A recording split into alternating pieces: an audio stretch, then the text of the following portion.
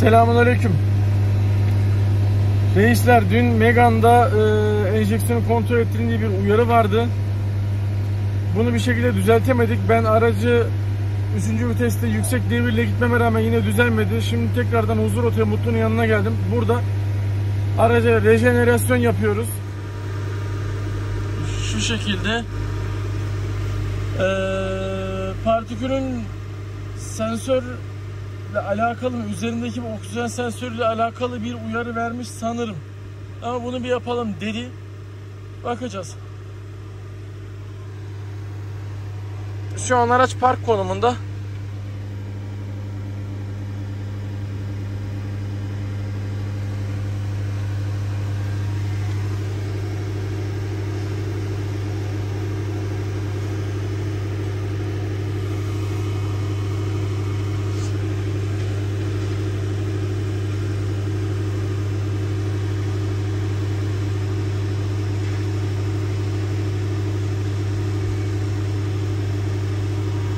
Arabanın kilometresi 117 binde. Bu kilometrede partikül tıkanmaz. Partikül tıkalı olsa bu arabanın çekişi düşer.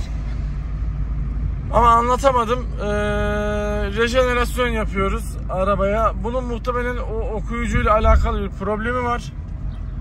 Yakıt az olduğu için yarıda kesti. Şimdi 150 liralık mazot alacağız. Tekrardan yapacağız ama arada düzelmeyecek büyük ihtimalle. Ee, daha sonra şey Yeniden baktıracağım işte. Sensöre. Oksijen sensörü müydü neydi işte. Egzoza, egzoza bağlı bir sensör var.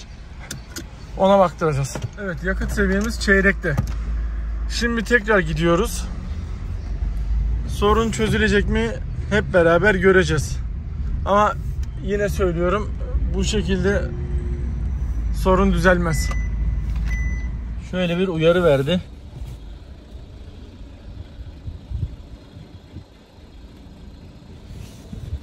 Mutlu'ya göstereyim.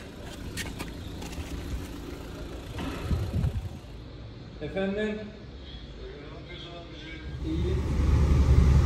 Yolda giderken denedik arızaları silip şöyle bir arıza verdi. Bunu e, nereden çekiyorduk? Abi şu an internet yok. Dükkandan ayrıldık da. Dur bakayım bir saniye. Arıza partikül filtresi girişinin e, altındaki sensörün voltajı bir şeyin altında dedi elektriksel bir problem olabilir.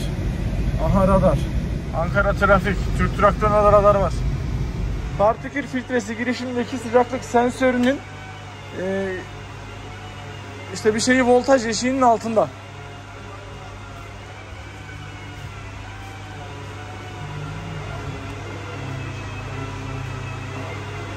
İnşallah çözdük. Soket boştaymış. Soket mi boştu?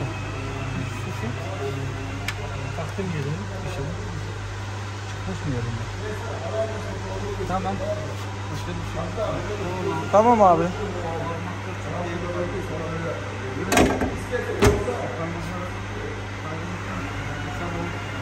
Bir daha silelim. Ben bir gideyim bakayım. Tamam. Seni çekmiyorum Hacı abi.